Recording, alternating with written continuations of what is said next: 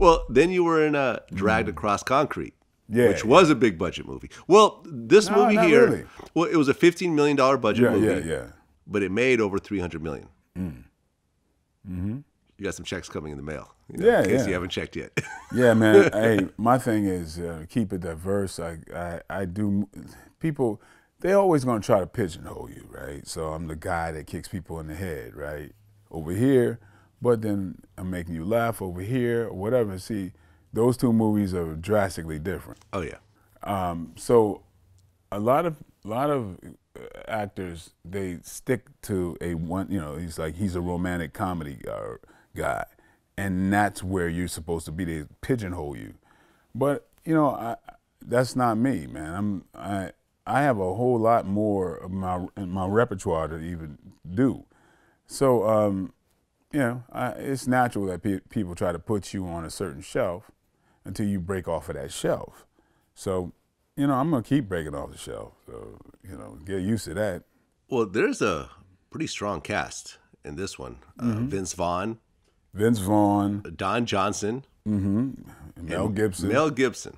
I was I was concerned at first. Right. Yeah, I was concerned. I was like, oh man, how is this gonna be? Mel Gibson. Did you ever hear the leaked telephone tape? Yeah, I heard that. He said he told his girlfriend at the time, "You look like a fucking pig in heat. Mm-hmm. If you get raped by a pack of n words with a hard R, Right, right, it will be your fault." right. Yeah. Was it a little uncomfortable hanging out with Mel on the Bruh, set? no, no, it wasn't uncomfortable. Not one minute. Okay. uh, let me let me explain how I look at things, and I'm not doing this just to be uh, politically correct or just you know try to get gain fans. I could give a damn about that. I'm to be honest. I I judge.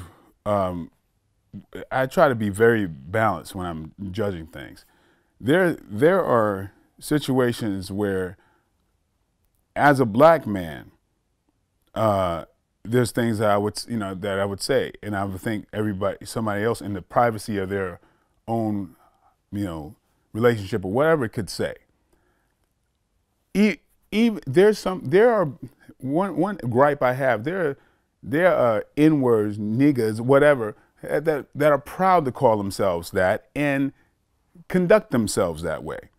I ain't cool with that either. You know, I'm not cool with people who I don't know, like who will support the negative stereotype.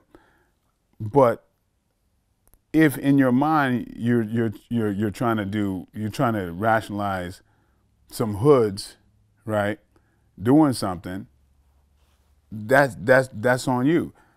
He's saying something that other people say in the privacy of their own relationship and home. I don't think there's one person who hasn't said that damn word, right? In the privacy of their home. Um, I'm not, I hate the word. First of all, I hate it. But I'm not going to judge somebody in that way. You say it to me, you got major problems, right?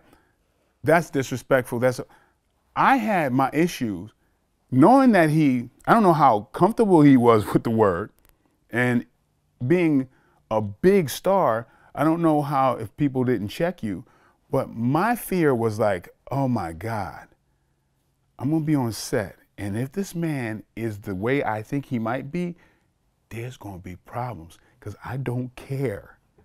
I don't care how big someone is. You disrespect me, you got problems. I don't care. So that's the thing I was like, whoo, how's this gonna be? So that was my concern. I know this man said this in the privacy of between him and his, his woman. That's his business, okay? I know they want to make me, you know, society wants to make me mad and say he's a racist. I don't know that. The way I feel like everybody says it. So, um, but when this man first met me, and my tension was like, I don't know how he's come he's gonna come off to me. And, you know, and I know who I am. The first thing he said is like, hey man, how are you doing? Man, my, my son and I love your movies. And he's like, he's talking about blood and bone and he's talking about martial arts and you know, he's he's doing jujitsu, you know, with one of, one of the with Rigan Machado, who I train with, and And and I, and I'm like, what, what, what? You know, and he's basically, he's just telling me all this stuff. I mean, he's got. I'm like, wait a minute, this is Mel Gibson telling me he's a fan of my movies. This is this is a trip. But that's who he seems to be every and not just this day, but every time I was around him, just a self-effacing, cool, kickback kind of dude who is like an alpha male. Uh and and just just down to earth and just could just very very open. Um I didn't know what to expect from the guy. But as a person who I feel like I can judge people pretty well, you know, I could, I could, I feel like I could tell the difference with somebody's just shining me on, and if somebody's the, the genuine person. Uh, you know, when somebody's got alcohol or whatever, in that scenario, you trying to scare your woman or you trying to say something else. Could somebody else say that? I think they could. I've never used that word in anger. Mm with with my, any of the women I've dated and mm. any of the friends that I've been mad at. I've had people steal from me. I've had mm. very bad relationships over the years. Mm-hmm. I can't think of a single time that I've used that word yeah. in anger. Mm-hmm. It's just not me. That's not you. It's not me. I, I, I know that I, I could I could see that that's not you. Not I think me. you're very sensitive to it. I don't, you know, I mean, I can't say I haven't. Um, as I've gotten older, I it, I almost never never really use it. Only in a only in a comic comic way every now and then. But but it's like because it means too much to me now because of where where it comes from. And, I, and there's people who defend the word, and my defense is if it's the same word that you you've heard before someone's life gets taken, how could it be a term of endearment? You know that that's my issue with that uh, of of saying you know of embracing the word as a term of endearment. It it never is that to me, but I mean, it, you know, it is it's what it means to the person saying it at the time. You know what I mean? That's really how I feel about it. There's people who can really say that word and and and say it with the intent that it is. Uh, you know, the, the tent that it was originally used for. Uh,